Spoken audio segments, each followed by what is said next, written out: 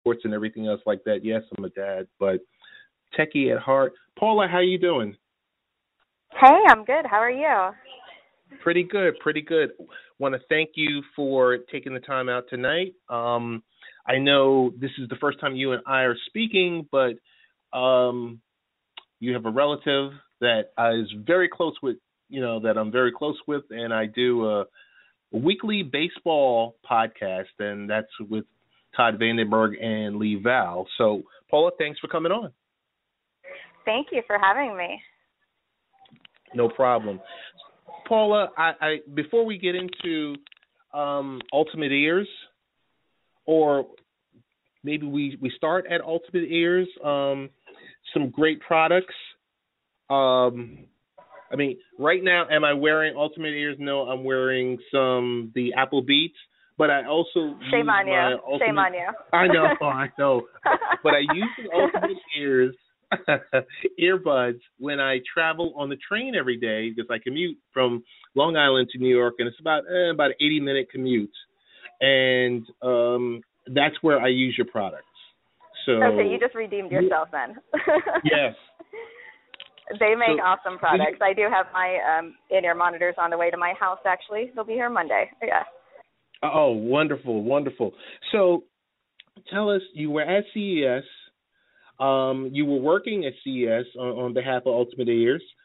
Tell us about some of the, the you know the new technology or some of the great products that really amazed you last week while you were there. Actually, I didn't have to work. I went there more for um more to just kind of visit CES. Um Really? I didn't have nice. to work. So, yeah, no.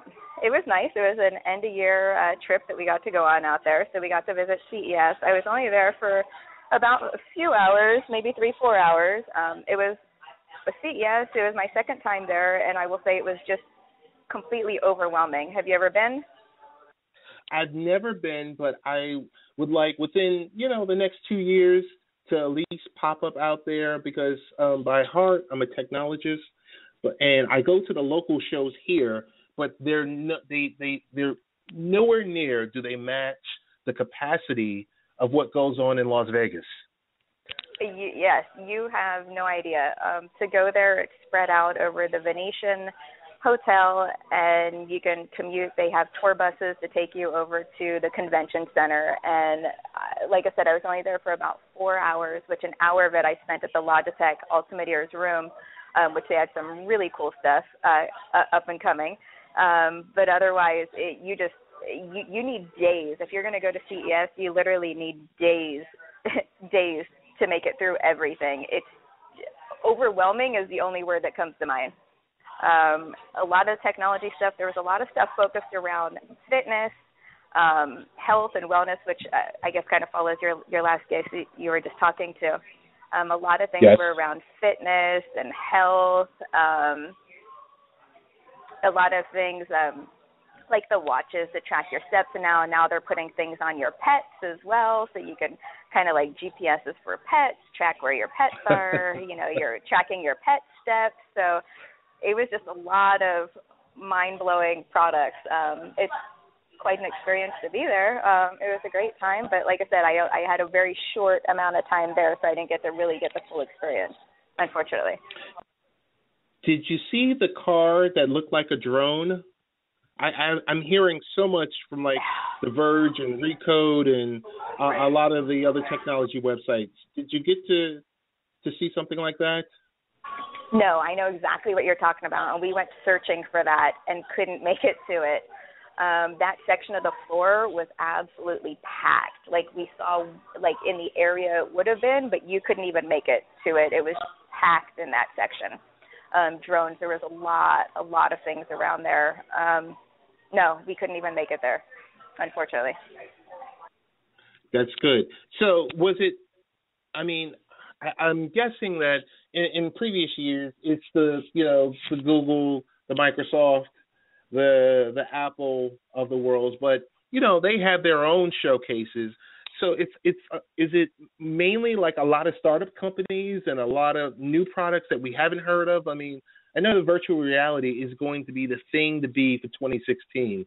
That's going to be like, you know, the holiday gift and and, and I'm I'm going to yeah. go back and replay this part, this this segment, um, you know, 11 months from now, because I'm sure that's that's all I'm hearing about virtual reality. Do, did you see any of you know any of technology like that?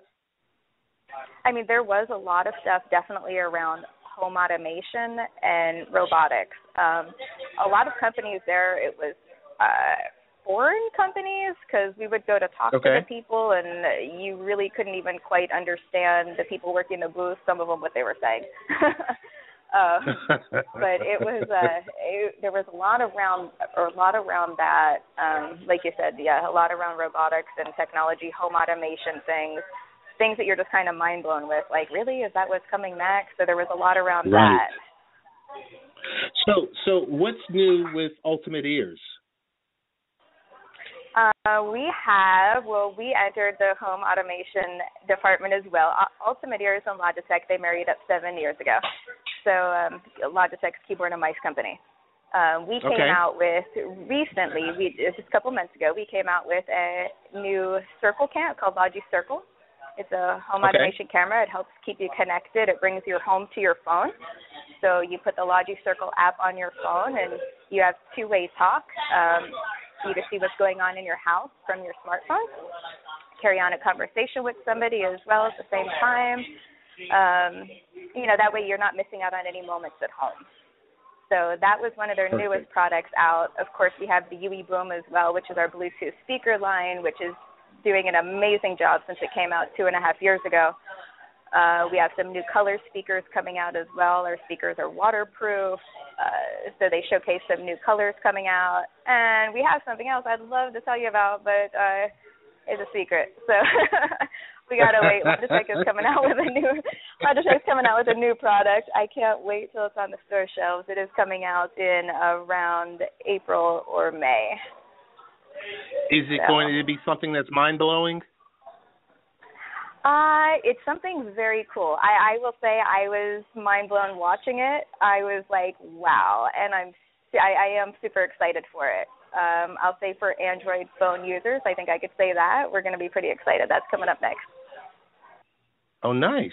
Very nice, very nice. So mm-hmm. when it does come out, Paula, I definitely want you to come back on the show to showcase it, to talk about it, because uh, it sounds like it's under you know, it's still in within R and D, like research and development is still yes, you know, fine tuning it right now.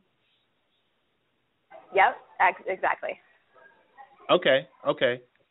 So with that, I'm going to, um, you know, I, I, I guess we're gonna bring this to a close, but I want to say best ways to get in contact with your company, um, Ultimate Ears, because like I said, great website, great products.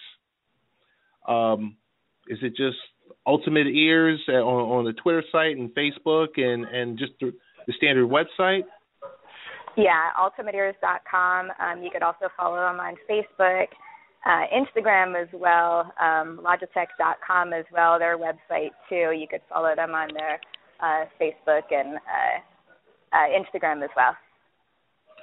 So, Paula, one one last thing is um, just so uh, the people listening to the podcast know. So, were was Ultimate Ears acquired by Logitech, or are you guys just merged, or are you just partnering up?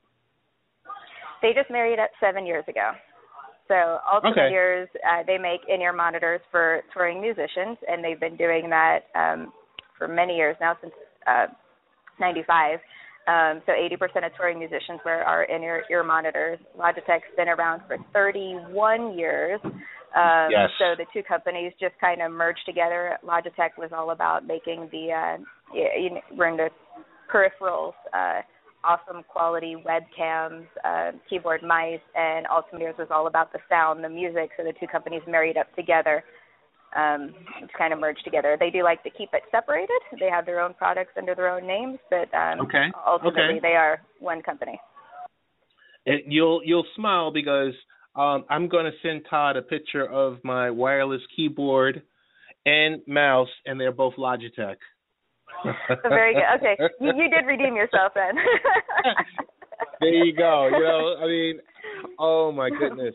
But I, I, I will say this much: two great products. Um, just one last thing I'm, I want to mention: the Ultimate Ear earbuds. Tell me, I mean, and, and I'm not sure if you can or you can't. and my phone is ringing as it rings every week on this show. Someone's calling to find out something.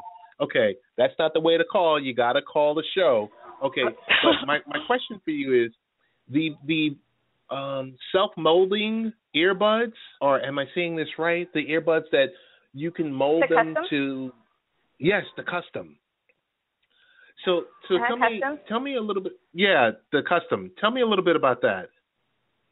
Um, that's what I have come into my home. You actually go to that. That's what 80% of touring musicians wear is the custom in-ear monitors when they're on stage. Um, so that's what you do is you actually go to an audiologist.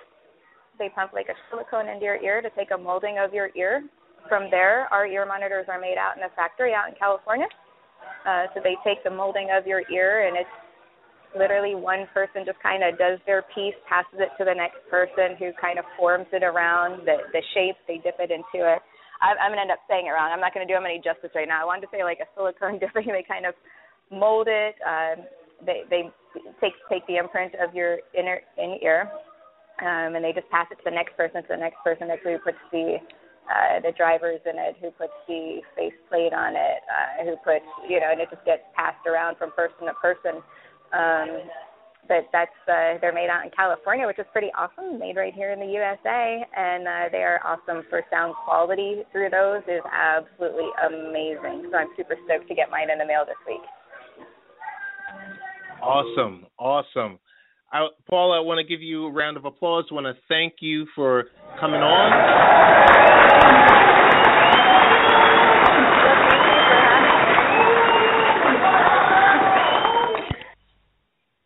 I know Thank some of so these questions were a me. little. Oh no, you're welcome. I know some of these questions were a little impromptu. Thank you for being a, a good sport and answering the, the questions. And definitely, when Logitech drops their new product, I definitely want to have you come back on. You know, during that March or April timeframe to talk about it. Absolutely, I'd love to come back. And when you get to CES, you better bring some good walking shoes. you do a lot of walking out there Oh, I- too. So. you got it, Paula. Thanks, thanks so much for joining us. Thank you. Thanks for having me. All You Have a good night. You're welcome. You too. Bye bye.